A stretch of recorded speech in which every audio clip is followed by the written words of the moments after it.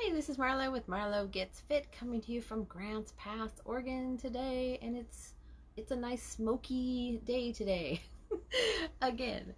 So I just wanted to do a quick video. Um, been super busy, but I wanted to do a video because today we made my favorite, favorite keto low carb recipe, our jalapeno popper chicken casserole. I have not made it in a while, and I don't know why, because it is so good. Oh my gosh! So I just wanted to uh, to show you what it looks like, and it is so yummy. Let me share this really quick. Share Facebook. Yes, got it. Ooh. Anyway, before I get started, if you don't know who I am, I'm a wife, I'm a mom. I work full time. I have a home business and I'm on a get healthy journey. And of course, I do keto to get healthy and also try to get some exercise in and that sort of thing.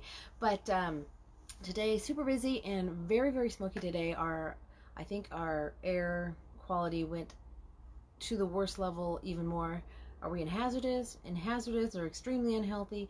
One of those, you know, like the purple areas, very, very bad. It's just Oregon, all, pretty much all of Oregon in the west coast is like crazy um, smoke going on. But they say possibly Thursday should, should maybe clear out. We might even get rain, which would be yes, amazing for rain to help with not only the smoke, but the fires that is causing all the smoke and that sort of thing. Um, so hopefully we will get some uh, relief from that because it is just it really um, chokes you out. I mean, it makes your eyes burn and your throat kind of burn, and and it's it's weird because a lot of businesses are actually closed because of it, especially ones that go outside, like our um, Dutch Brothers. Uh, you know, coffee, they're they're closed down um, because most of the time they're hanging out the windows, I guess. And the the dump is closed down. Can't do a dump trip. Been tried to do that on this weekend and couldn't do that. So anyway, um, other than that, though, doing pretty good. Super busy. Business is um, going great. Excited. Our team is exploding and that sort of thing. And I just wanted to mention. Um, we do have a, um, a, giveaway going on for 48 hours for our waist trainer in a bottle. This stuff is amazing, and uh, I talk about all the time, but I am going to post later on how you can win a bottle of this. Awesome. So here we go. I haven't posted pictures because I just got back. My son had a doctor's appointment, and so I just got back, and this um, we made this right before I left, and I wanted to get on here and show you really fast before I eat this because it looks amazing. Can you see it? Yummy, yummy, yummy.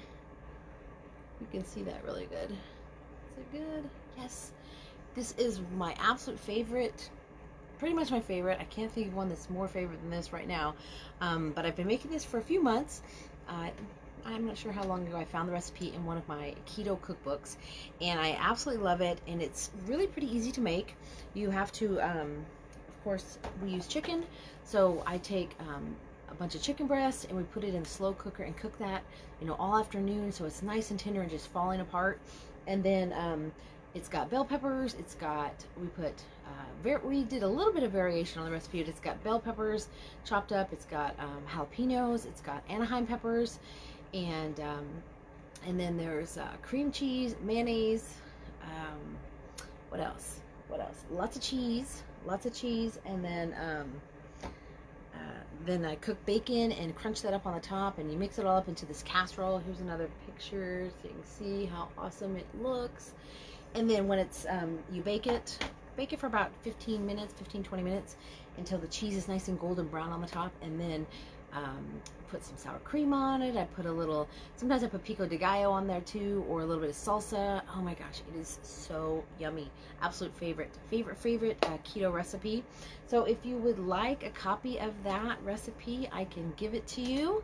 Just send me a message and say jalapeno poppers and I will send that to you. It is so yummy and it's it's super easy to make. It really only took you do since you do the chicken in the slow cooker. Um, you know that of course is afternoon. You don't have to do anything with that, and then it takes about a half hour, I'd say, you know, to chop up the stuff and and mix it up and fry the um, peppers up and get them soft, and then put the rest of the stuff in there, and then you just put it in the oven.